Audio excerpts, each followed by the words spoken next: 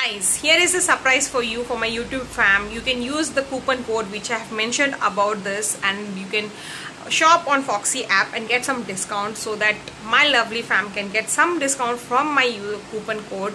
And uh, yes use this coupon code and get some discount and happy shopping.